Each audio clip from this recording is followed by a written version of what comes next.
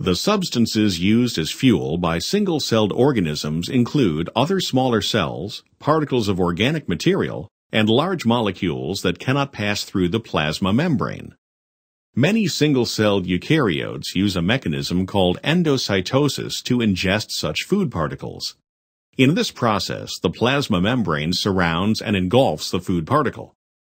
Cells use three basic types of endocytosis depending on the size and nature of the material to be ingested. Phagocytosis, pinocytosis, and receptor-mediated endocytosis.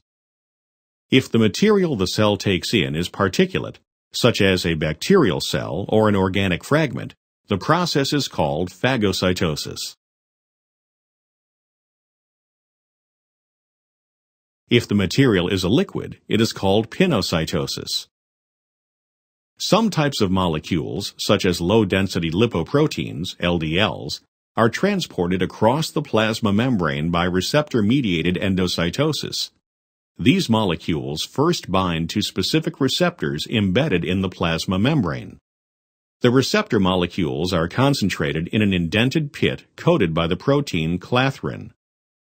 When sufficient target molecules accumulate in the coated pit, the pit deepens, seals, and is incorporated into the cell as a coated vesicle.